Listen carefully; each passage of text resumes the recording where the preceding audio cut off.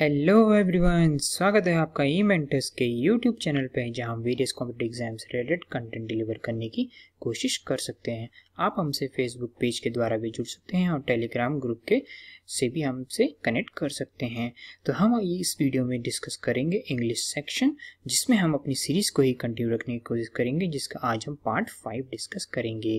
पहले four videos upload की जा चुकी हैं तो इस वीडियो को देखने से पहले उस वीडियो को, उन वीडियोस को ज़रूर दिखेगा this presented by me Mani Satyavali your English mentor इस सीरीज़ की खास बात रहेगी। पाँच दस मिनट में पूरा करने की कोशिश की जाएगी और बुलेट फॉर्म में कंटेंट को डिलीवर किया जाएगा। प्रीवियस ईयर क्वेश्चंस के भी यहाँ पर हम पास कुछ क्वेश्चंस आपको दिखाई जाएँगे। एक्सरसाइजेस आपकी प्रैक्टिस और ब्रेन के लिए भी दी जाएगी। तो हमारे पास जो दो वर्ड्स हैं, वो हमारे पास एब्रीविएशन और एक्रॉनिम मेरे पास दो वर्ड्स हैं। अब हो क्या गया है? ये हमारे पास आ गया क्लाउड्स ऑफ़ कन्फ्यूज़न ये बच्चा हमारे पास कन्फ्यूज़ हो चुका है कि इसकी तरह आप भी सोचते होंगे कि एब्रीविएशन सही है या एक्रोनिम सही है या दोनों एक ही हैं। तो इस वीडियो में आपके सारे डाउट्स क्लियर हो जाएँगे। तो हम पे पहला क्लाउड जो आया वो एब्रीविएशन का क्लाउड है, जो पहली बूंद और ड्रॉप जो लेकर आएगा हमारे पास, वो कहता है, मैं मीनिंग बताऊँगा। मीनिंग में कहता है short form of words representing whole words और फ्रेजेस यहाँ पर जो मेरे पास शॉर्ट वर्ड ऑफ़ वर्ड्स है, कहने का मतलब है किसी भी चीज़ को सूक्ष्म करके रिप्रेजेंट करना, चाहे वो कितनी भी बड़ी हो वर्ड हो या फ्रेज हो। पर छोटा करना ही मेरे पास क्या होता है? एब्रीविएशन एग्ज़ाम्पल से आप समझेंगे। अमाउंट को हम लिखते हैं A M T dot versus को हम लिखते हैं वी एस, डॉट तो हमने क्या करा, छोटा करने की यहाँ पर कोशिश करिए एग्ज़ाम्पल को हम लिखते हैं ई एक्स डॉट एग्ज़ाम्पल को आपने देखा होगा ई जी डॉट लिखते हैं तो इसका मतलब होता है मेरे पास एग्जाम्पली ग्रेशिया फादर को हम लिखते हैं एफ़ आर डॉट सीनियर को हम लिखते हैं एस आर डॉट जूनियर को हम लिखते हैं J R dot similarly doctor को हम लिखते हैं डी आर डॉट और प्रोफेसर को हम लिखते हैं P R O F dot तो ये छोटा करने के मेरे पास तरीके हैं।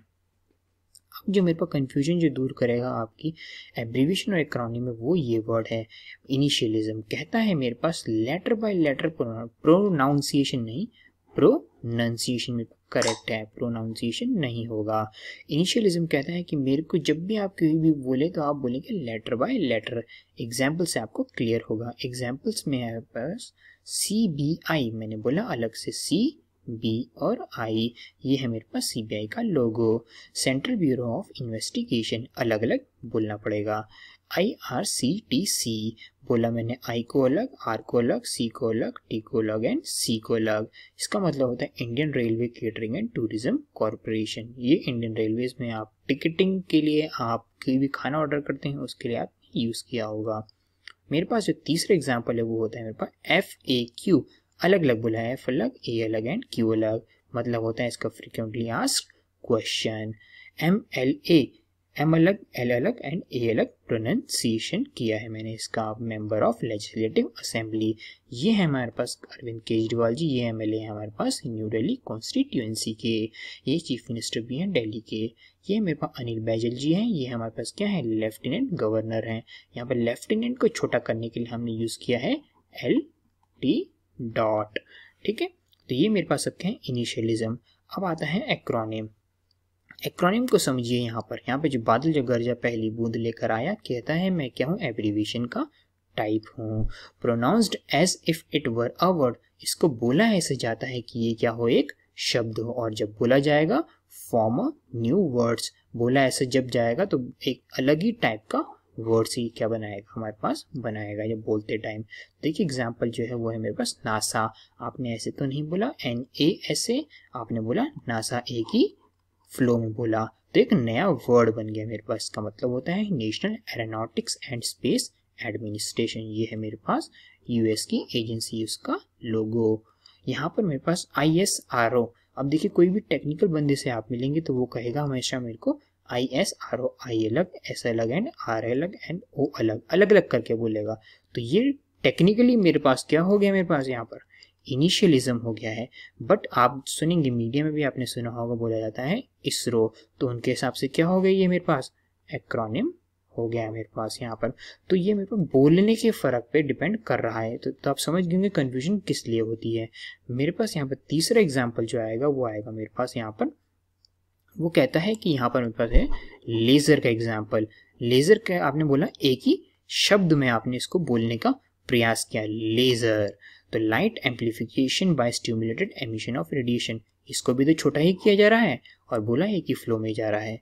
रेडार आपने एक ही फ्लो में बोलने की कोशिश की, इसका मतलब होता है रेडियो डिटेक्शन एंड रेंजिंग तो ये सब क्या है मेरे पास? एक्रोनिम ये जो वर्ड है आपके लिए नया तो नहीं होगा, बस शायद इसका जो मेरे पास जो पूरा मीनिंग है वो आपके लिए नया होगा। स्कूबा स्कूबा का मतलब होता है self content under water breathing apparatus ये देखे होंगे आपने, ये मछली जैसे टांग पहन के जो आते जाते हैं ना समुद्र के अंदर जो गोताखोर जो कहते हैं, गोताखोर इंग्लिश में कहते हैं, वो ये पहन के जाते हैं और सिलेंडर लगा के जाते हैं। तो ये स्कूबा डाइविंग कहते हैं जो वो एक्शन परफॉर्म करते हैं।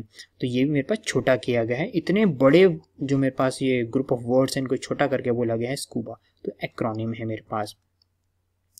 अब आप आप ये बोल रहे होंगे भैया अभी भी समझ में नहीं आया मेरे को एक्रोनिम और एब्रीविएशन क्या होता है? तो देखिए, यही बात होती है। मेन बात ये होती है कि आप ऐसे समझिए कि मेरे पास जो एब्रीविएशन है, ठीक है, वो मेरे पास दो चीज़ होती है, उसके अंदर दो टाइप्स होते हैं। एक होता है मेरे पास इनिशियलिज्म एक होता है मेरे पास एक्रोनिम तो ये जो एक्रोनिम और इनिशियलिज्म ये दोनों ही मेरे पास एब्रीविएशन के टाइप हैं। अब आप समझ जाएँगे कि every every acronym is abbreviation सही है but every abbreviation is not acronym इस बात को ध्यान दीजिएगा। क्यों? जब आप बोलते हैं एवरी एब्रीविएशन इज़ एक्रोनिम तो उसमें इनिशियलिज्म भी आता है, जो कि मेरे पास एक्रोनिम नहीं है। दोनों मेरे पास डिफरेंट डिफरेंट है। तो ये कन्फ्यूज़न रहती है। तो क्वेश्चन नंबर हम डिस्कस करते हैं previous year question question number one S S C two thousand eight synonym पूछा गया है। एक्रोनिम का synonym one two three four करके पूछा गया है। मैं पॉज लेता हूँ, आप तब तक सोचिए। आशा करता हूँ आपने अपना ऑप्शन चूज़ कर लिया होगा। आप बोल रहे, सोच रहे होंगे कि ऑप्शन थ्री तो होना चाहिए बट मैंने बताया कि ये क्या होता है मेरे पास? इनिशियलिज्म एक्चुअली में टेक्निकली ये होना ही यही चाहिए था कि ऊपर ऊपर आपको एक्रोनिम की जगह यहाँ पर इनिशियलिज्म देना चाहिए था और ऑप्शन आपका थ्री टिक करते हैं। और यही खासियत है प्रीवियस ईयर क्वेश्चन की सीरीज़ जो मैं यहाँ पे आपको दिखा रहा हूँ कि आपको बेस्ट ऑफ़ फोर में से आपको बेस्ट ऑप्शन चूज़ करना है, जो मेरे पास ऑप्शन नंबर थ्री है। क्वेश्चन नंबर टू भी यही है। S S C C G L twenty thirteen में वन वर्ड सब्सटीट्यूशन के रूप में पूछा गया है। A word compose of the first letters of the words in a phrase आपने ऑप्शन फोर चूज़ करना है। ठीक है, ऊपर ही बता दिया गया है तो इसमें पॉज लेने की कोई या सोचने की कोई गुंजाइश ही नहीं बची है। एक्सरसाइज में हम मूव ऑन करते हैं। एक्सरसाइज में हम पास आपको फिल करना है राइट विच इस एक्रोनिम और इनिशियलिज्म ध्यान दीजिएगा मैंने यहाँ पर एब्रीविएशन फिल करने को नहीं बोला है, क्योंकि दोनों ही मेरे पास एब्रीविएशन तो आप फिल क्या करेंगे? सारी एब्रीविएशन है जो मैं क्वेश्चन दूँगा। तो क्वेश्चन नंबर जो वन जो मैंने पूछा है, वो आपके सामने है। एम बताना है, आपको एक्रोनिम है या इनिशियलिज्म है? क्वेश्चन नंबर टू आपको सी बताना है। क्वेश्चन नंबर थ्री आपको बताना है कंप्यूटर क्या है? क्वेश्चन नंबर फोर सार्क क्या है? एंड क्वेश्चन नंबर फाइव आपको उजाला बताना है। Question number six B C C I and question number seven F S S A I के बारे में आपको बताना है। मैं थोड़ी देर पॉज लेता हूँ, आप स्क्रीनशॉट ले लीजिएगा। आशा करता हूँ आपने स्क्रीनशॉट ले लिया होगा। स्क्रीनशॉट लेने के बाद आप अपने आंसर्स कमेंट सेक्शन में मेंशन कीजिएगा। सही होंगे तो मैं आपके कमेंट को नेक्स्ट वीडियो यानी पार्ट सिक्स में आपके कमेंट को हाईलाइट भी करूँगा। आंसर टू पार्ट फोर हमारे पास आ चुके हैं एक्सरसाइज के, जो हमने पिछली वीडियो में पूछे थे। तो इसका जो सही जवाब जो दिया गया है, वो स्माइलर हमारे सब्सक्राइबर उन्होंने दिया है। ऑप्शन नंबर वन का जो करेक्ट आंसर है, वो है मेरा ब्रीथ ऑप्शन नंबर टू का करेक्ट आंसर है ब्रेथ ऑप्शन नंबर थ्री का है मेरे पास ब्रेथ ऑप्शन नंबर फोर मेरे पास ब्रीथ तो ये सारे ही मेरे पास किया है, करेक्ट है मेरे पास यहाँ पर। देखिएगा, जिस जिसका सही है, वो ज़रूर देखिएगा इसको और गलत है तो उससे कुछ सीखिएगा क्यों गलत है। रीड अप्लाई एंड मेमोराइज आप करते रहिएगा और अपने कंसेप्ट को सॉलिडिफाई कीजिएगा। यहाँ पे जो मैंने रैम जो मैंने वर्ड लिया है, वो भी क्या है मेरे पास? एक्रोनिम देखिए, जो भी आप समझते हैं, पढ़ते हैं, कहीं से भी पढ़ें, उसको देखिए, हर जगह आप देखिए, अपने आँखों से ये क्या है, ये क्या है, आप अप्लाई कर पा रहे हैं जो आपने सीखा है। तो यहाँ पे रैम जो मैंने आपको स्टार्टिंग वीडियो से यूज़ कर दिया वो एक्चुअल में क्या है? एक्रोनिम है। ठीक है? इनिशियलिज्म नहीं है। चलिए फिर अपनी वाणी को मैं आराम देता हूँ और वीडियो को मैं यहीं पे रोकता हूँ। आपसे मिलते हैं अगले वीडियो, अगले पार्ट सिक्स में आप, आपसे मिलते हैं। तब तक लाइक शेयर एंड सब्सक्राइब करते रहिए और अपने आसपास साफ़ सफ़ाई रखिए, अपनी सेहत का ध्यान रखिए और सही से सोइए और हेल्दी रहिए। तब तक के लिए good bye take care and Shaba खैर